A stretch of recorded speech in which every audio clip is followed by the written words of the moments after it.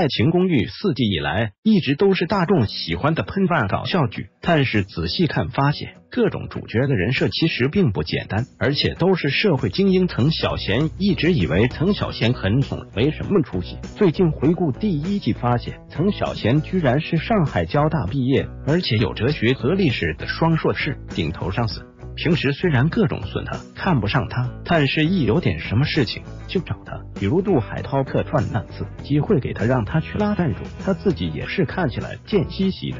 但是遇到能争取的岗位和荣誉，他都是积极主动求上进的。胡一菲，一菲是博士，毕业学校没有明说，西南某高校的万人迷思政老师，课程上座率高，可谓学校的当红老师了。能随便安排朋友进学校任教师助理，兴趣爱好一大堆，并且都还挺好。比如跆拳道赢了机器人，拿了八万块钱奖学金捐给了学生。陆展博，展博是麻省理工毕业，推测应该是计算机系的。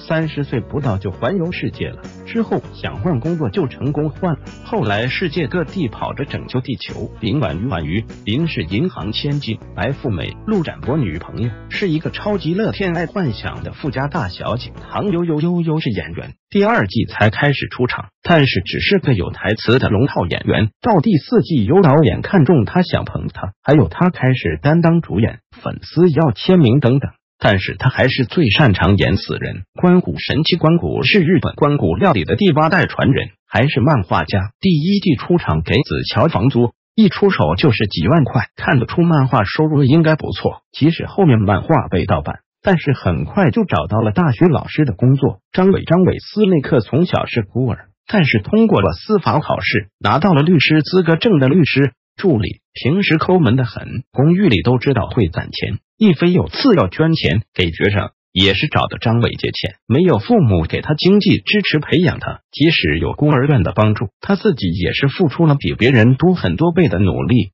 才一路念书考司法成为律师的。秦宇莫秦宇莫是高级美容顾问。各种名牌包包、衣服，未婚夫送的鸽子蛋钻戒，说捐就捐了。吕子乔，吕子乔看起来是个穷光蛋，到处借钱。第一季的主角之一，没个正经工作，又是小姨妈，没事唐悠悠。但是他行走江湖，忽悠人有一套，女人缘各种好。Lisa 荣跟他分手了，还对他念念不忘。一飞妈妈见了一次。就喜欢的要他做女婿，做励志时视频也卖的不错，各种场合都能快速融入，打成一片。陈美嘉，陈美嘉没念过大学，工作也一波三折，换了又换，还去过东北买衣服。怎么说呢？有种天然呆的感觉，心大，不会想太多，少了很多烦恼，应该是爱情公寓里活得最快乐的人。这些人，我们看他们平常嘻嘻哈哈，吵闹乌龙。